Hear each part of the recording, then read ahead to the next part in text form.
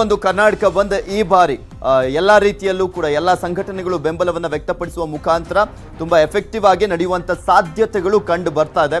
ಕಾದ್ ನೋಡ್ಬೇಕು. ಯಾಕೆಂದ್ರೆ ಇಲ್ಲಿ ಬೆಂಗಳೂರು ಬಂದಾದಂತ ಸಂದರ್ಭದಲ್ಲಿ ಆಲ್ಮೋಸ್ಟ್ ಕರ್ನಾಟಕ ಬಂದಾದಂತೆ ಆಗುತ್ತೆ. So mainly K S R T B M bus ಸಂಚಾರಗಳು ಯಾವ ರೀತಿಯಾಗಿರುತ್ತೆ, ಅವರ ನಿರ್ಧಾರ ಏನಾಗಿರುತ್ತೆ ಅನ್ನೋದನ್ನ ಕೂಡ ಕಾದ್ ನೋಡಬೇಕಾಗಿದೆ. ಇಲ್ಲಿ ಕೋಡಿಹಳ್ಳಿ ಚಂದ್ರಶೇಖರ್ ನೇತೃತ್ವದ ರೈತ ಸಂಘದವರು ಸೇರಿದಂತೆ ಸಾಕಷ್ಟು ರೈತಪರ ಸಂಘಟನೆಗಳೆಲ್ಲವೂ ಕೂಡ ಸೇರ್ಕೊಂಡು ಈ ಒಂದು ಬಂದ್ಗೆ ಕರೆಯನ್ನ ನೀಡಿದ್ದಾರೆ. ಮೇನ್ಲಿ ಏನ್ ಕಾರಣ ಅಂದ್ರೆ ಭೂ ಸುಧಾರಣೆ ಕಾಯ್ದೆಯನ್ನ ವಿರೋಧಿಸಿ ಎಪಿಎಂಸಿ ಕಾಯ್ದೆಯ ಜಾರಿಗೆ ತರಲಿಕ್ಕೆ ಮುಂದಾಗಿರುವಂತ ಕೇಂದ್ರ ಸರ್ಕಾರದ ನಡೆಯನ್ನ ವಿರೋಧಿಸಿ ಈ ರೀತಿಯಾದಂತ ಬಂದ್ಗೆ ಕರೆಯನ್ನ ನೀಡಲಾಗಿರುವಂತದ್ದು ಮೇನ್ಲಿ ನಿಮಗೆ ತೋರಿಸ್ತಾ ಇದ್ವಿ, ಆಟೋ ಮಾಲೀಕರ ಸಂಘದವರು ಸ್ಪಷ್ಟಪಡಿಸಿದ್ರು, ನಮ್ಮ ಬೆಂಬಲ ಇದೆ ಅಂತ. ಇನ್ನ ಓಲಾ, ಉಬರ್ ಸಂಘದವರು ಕೂಡ ಸ್ಪಷ್ಟಪಡಿಸಿದ್ರು, ನಾವು ಬೆಂಬಲವನ್ನ ಕೊಡ್ತಾ ಇದ್ದೀವಿ. ಈ ಬಾರಿಯ ಕರ್ನಾಟಕ ಬಂದ್ಗೆ ಅಂತ. ಇನ್ನು ಒಂದ್ ಕಡೆ ಹೋಟೆಲ್ ಮಾಲೀಕರ ಸಂಘದವರು ಹೇಳಿದಂತದ್ದು ಅಂದ್ರೆ, ನೈತಿಕ ಬೆಂಬಲ ಇರುತ್ತೆ. ಆದ್ರೆ ನಾವು ಹೋಟೆಲ್ಗಳನ್ನ ಕ್ಲೋಸ್ ಮಾಡ್ತಾ ಇಲ್ಲ. ಯಾಕಂದ್ರೆ ಎಸೆನ್ಷಿಯಲ್ ಸರ್ವಿಸ್ ಅಲ್ಲಿ ಅದು ಕೂಡ ಬರುತ್ತೆ. ಕೊರೋನಾದ ಸಂದರ್ಭದಲ್ಲಿ ಸಾಕಷ್ಟು ಹೊಡೆತವನ್ನ ತಿಂದಿದ್ದಂಥವ್ರು ನಾವು. ಸೊ ಹೀಗಾಗಿ ನಾವು ಬಂದ್ ಮಾಡ್ತಾ ಇಲ್ಲ. ನೈತಿಕವಾಗಿ ಬೆಂಬಲವನ್ನ ವ್ಯಕ್ತಪಡಿಸ್ತಾ ಇದ್ದೀವಿ ಅಂತ ಹೇಳಿದ್ರು.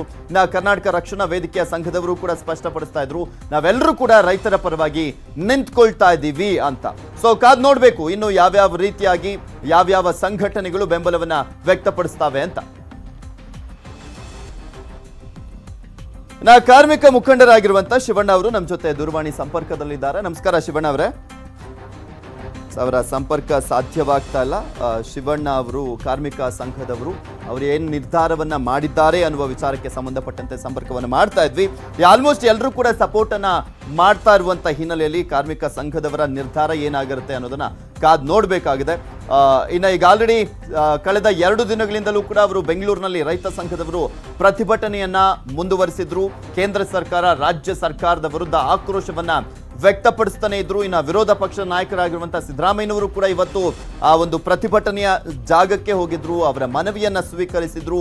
ಅದೇ ಒಂದು ವಿಚಾರವನ್ನ ಅವರು ವಿಧಾನಸಭೆಯಲ್ಲೂ ಕೂಡ ಸರ್ಕಾರವನ್ನ ತರಾಟೆಗೆ ತೆಗೆದುಕೊಳ್ಳಲಿದ್ದಾರೆ. ಅವರ ಮನವಿಯನ್ನ ಸ್ವೀಕರಿಸಿದ್ದಾರೆ. ಸಿದ್ದರಾಮಯ್ಯನವರು ಅವರು ಕೂಡ ಸಪೋರ್ಟ್ ಅನ್ನ ಕೊಡ್ತಾ ಇರುವಂತದ್ದು ನೀವೆಲ್ಲರೂ ಕೂಡ ನೋಡಿದಿರಾ ಬೇರೆ ಬೇರೆ ರಾಜ್ಯಗಳಲ್ಲೂ ಕೂಡ ಇದೇ ರೀತಿಯಾಗಿ ದೊಡ್ಡ ಮಟ್ಟದಲ್ಲೇ ರೈತ ಸಂಘದವರೆಲ್ಲರೂ ಕೂಡ ಬೀದಿಗಿಳಿದು ಪ್ರತಿಭಟನೆಯನ್ನ ಮಾಡ್ತಾ ಇರುವಂತದ್ದು. ಹರಿಯಾಣ ಆಗಿರ್ಬೋದು, ಪಂಜಾಬ್ ಆಗಿರ್ಬೋದು, ಉತ್ತರ ಪ್ರದೇಶ ಆಗಿರ್ಬೋದು ಮಧ್ಯಪ್ರದೇಶ ಆಗಿರ್ಬೋದು, ಇಲ್ಲೆಲ್ಲ ಕಡೆನೂ ಕೂಡ ಸಾಕಷ್ಟು ರೈತ ಸಂಘಟನೆಗಳು ಪ್ರತಿಭಟನೆಯನ್ನ ಮಾಡ್ತಾನೆ ಇದ್ವು. ನಾ ಯೋಗೇಂದ್ರ ಯಾದವ್ ಅವರು ಕೂಡ ಭಾರತ ಬಂದ್ ಆಗಬೇಕು ಅಂತ ಹೇಳ್ತಾ ಇದ್ರು. ಸೆಪ್ಟೆಂಬರ್ ಇಪ್ಪತ್ತೈದನೇ ತಾರೀಕು. ಈಗ ಕರ್ನಾಟಕ ಬಂದ್ಗಂತೂ ಆ, ಈಗ ಆಲ್ರೆಡಿ ರೈತ ಸಂಘದವರು ಕರೆಯನ್ನ ನೀಡಿರುವಂತ ಹಿನ್ನೆಲೆಯಲ್ಲಿ ಇನ್ನು ಯಾವ್ಯಾವ ರೀತಿಯಾಗಿ ಯಾವ್ಯಾವ ಸಂಘಟನೆಗಳು ಬೆಂಬಲವನ್ನು ವ್ಯಕ್ತಪಡಿಸ್ತವೆ ಅನ್ನೋದನ್ನ ಕಾದ್ ನೋಡಬೇಕಾಗಿದೆ. ಒಟ್ನಲ್ಲಿ ಏನಾದರೂ ಶುಕ್ರವಾರ ನಿಮ್ಮ ಪ್ಲಾನ್ಸ್ಗಳಿದ್ರೆ ಮುಂದೂಡ್ಕೊಳ್ಳಿ ಅಥವಾ ಅದಕ್ಕೂ ಮುಂಚೆನೆ ಆ ಒಂದು ಕೆಲಸಗಳನ್ನ ಮುಗಿಸ್ಕೊಂಡ್ರೆ ಒಳಿತು. ಯಾಕಂದ್ರೆ ಹೇಳಲಿಕ್ಕೆ ಆಗೋದಿಲ್ಲ ಸ್ವಲ್ಪ ಈ ಒಂದು ತುಂಬಾ ಎಫೆಕ್ಟಿವ್ ಆಗಿ ಬಂದ್ ನಡೆದಂತ ಸಂದರ್ಭದಲ್ಲಿ ಅಕಸ್ಮಾತ್ ಯಾರಾದರೂ ಒಬ್ಬ ಬಸ್ಸಿಗೆ ಕಲ್ಲು ಹೊಡೆದು ಬಿಟ್ರೆ ಆ ಬಸ್ ಸಂಚಾರನೇ ಕಂಪ್ಲೀಟ್ ಆಗಿ ನಿಂತೋಗ್ಬಿಡುತ್ತೆ ಸೊ ಹೀಗಾಗಿನೇ ನಿಮ್ಮ ಕೆಲಸಗಳು ಏನೇ ಇದ್ರೂ ಕೂಡ ಮುಂಚೆನೆ ಮುಗಿಸ್ಕೊಂಬಿಡಿ. ಶುಕ್ರವಾರಕ್ಕೂ ಮುಂಚೆನೆ ಮುಗಿಸ್ಕೊಳ್ಳಿ ಅಥವಾ ಶುಕ್ರವಾರ ಆದ್ಮೇಲೆ ಆ ಒಂದು ಕೆಲಸಗಳನ್ನ ಮುಂದೂಡ್ಕೊಂಡ್ರೆ ಒಳ್ಳೇದು.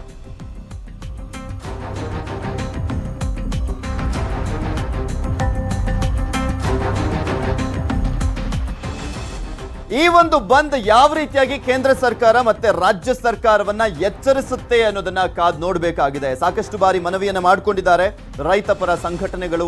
ಆದ್ರೆ ಈಗ ಬಂದನ್ನ ಆಚರಣೆ ಮಾಡುವ ಮುಖಾಂತರ ಯಾವ ರೀತಿಯಾಗಿ ಎಚ್ಚರಿಕೆಯನ್ನ ಕೊಡ್ತಾರೆ?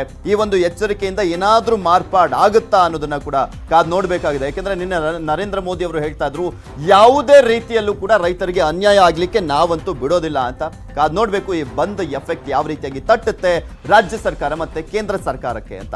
ಇವೆಷ್ಟು ಇವರೆಗಿನ ಸುದ್ದಿ ನಾನು ಪೃಥ್ವಿರಾಜ್ ಹಾರ್ನಳ್ಳಿ. ನೋಡ್ತಾರೆ ನ್ಯೂಸ್ ಏಟೀನ್ ಕನ್ನಡ. ಜಾಲ ನಮ್ಮದು ಬಲ. ನಿಮ್ಮ